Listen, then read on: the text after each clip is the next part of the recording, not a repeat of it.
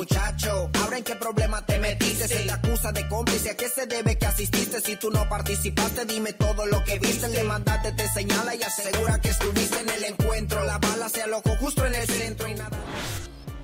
En estas condiciones queda este vehículo que vemos en pantalla, el cual cae a la hondonada. En el kilómetro 22 del periférico de Mérida exactamente es donde ocurre este accidente. A pesar de esta situación, no hay lesionados, solo los daños para el automóvil. Podemos ver que en el lugar ya se encuentran los oficiales de la Secretaría de Seguridad Pública, ya arribaron hasta este sitio, así como también pues están la la grúa que moverá a este automóvil. Ahí podemos ver en estas imágenes que nos comparte mi compañero Sergio Camacho cómo queda este vehículo prácticamente pues con mucha afectación tanto en la parte delantera como en el panorámico, en el techo, luego de que aparentemente, según la información, este conductor pierde el control del volante y termina cayendo a la hondonada aquí en el periférico de la ciudad. La parte de atrás también afectada, pues prácticamente todo el vehículo queda con daños. Sin embargo, no hay lesiones mayores para el conductor, que afortunadamente, pues a pesar de este accidente, no resultó con daños graves. Les decíamos, en el lugar ya se encuentra la grúa, ya están tomando conocimiento de los hechos también los oficiales de la Secretaría de Seguridad Pública.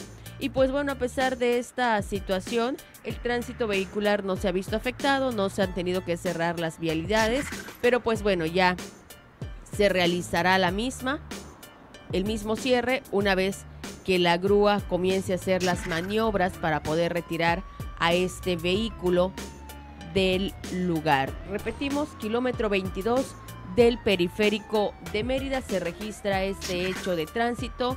No hay lesionados de gravedad, únicamente los daños para el vehículo que pues todo parece indicar que pierde el control del volante y termina en estas condiciones. Ya les decíamos, los agentes de la Secretaría de Seguridad Pública trabajando en este lugar, pues tomando conocimiento de lo ocurrido Ahí vemos cómo la grúa ya poco a poco va a ingresar, va a bajar para poder retirar a este automóvil que termina con afectaciones luego del impacto, luego de la volcadura que pues se registra este día aquí en el kilómetro 22 del periférico de la ciudad.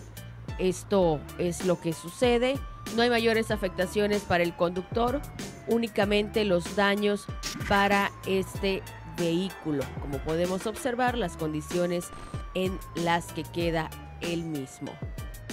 Policía estatal trabajando en el sitio ya en breve será removido para ser llevado al taller o a donde haya indicado el conductor del mismo y ser valorado una vez que ingrese y se paguen ya los daños correspondientes. Todo esto, kilómetro 22 del periférico de Mérida. Con imágenes de mi compañero Sergio Camacho para SN Policiaco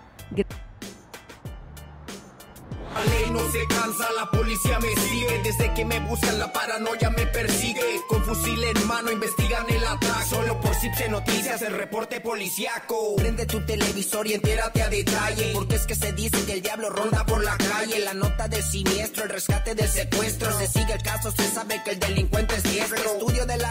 Nos arroja que el sujeto vive del asalto y bajo los efectos del cemento. Atropellaron a Beto por un camionero insensato que lo remató, que porque muerto sale más barato muchacho. Ahora en qué problema te metiste, se te acusa de cómplice. ¿A qué se debe que asististe si tú no participaste? Dime todo lo que viste. El demandante te señala y asegura que estuviste en el encuentro. La bala se alojó justo en el centro y nada lo justifica. La sospecha va en aumento.